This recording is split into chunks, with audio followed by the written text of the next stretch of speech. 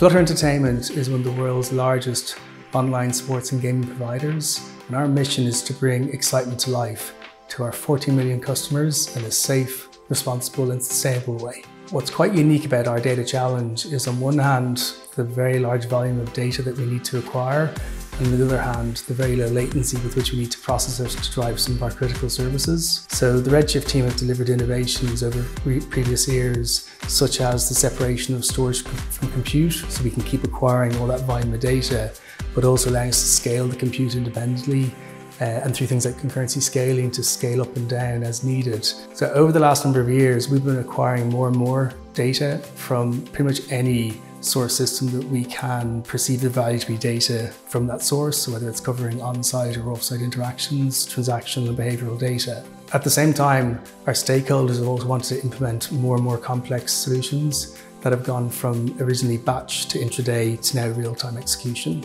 So this combination of the volume and latency together creates an ongoing challenge for me and my team.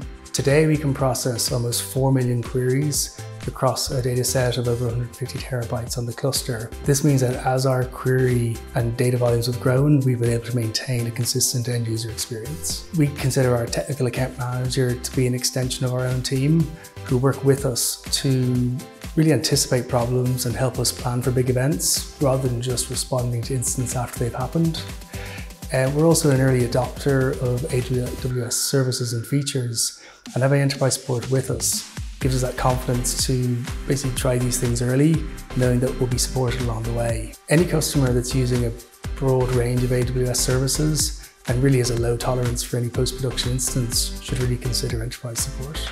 Redshift has given us the ability to process the data volumes and service our stakeholders' needs in a way that we just could not have done if we were still running on our on-premise solutions. We see Redshift data sharing as the key feature to enable us to move to our next evolution of our platform.